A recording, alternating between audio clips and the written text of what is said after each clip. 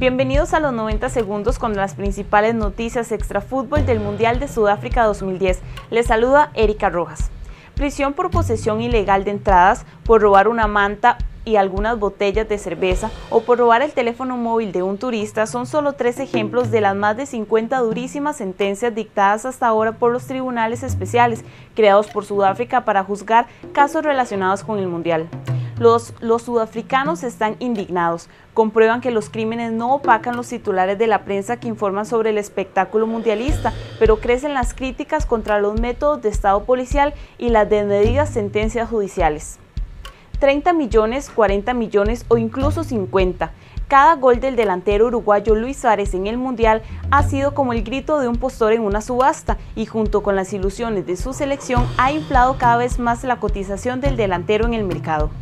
Sus dos goles en el triunfo contra Corea del Sur valieron para meter a Uruguay entre los ocho mejores y desataron una ola de especulaciones sobre el interés de los principales clubes del mundo en el jugador.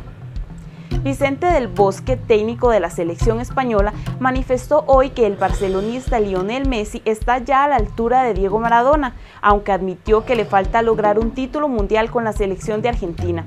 Del Bosque tiene claro que hoy por hoy el zurdo argentino del Barcelona es el mejor del mundo. Lo único que le extraña al seleccionador español es que Messi aún no haya marcado tanto alguno. Sigue informándose en puromundialdenación.com.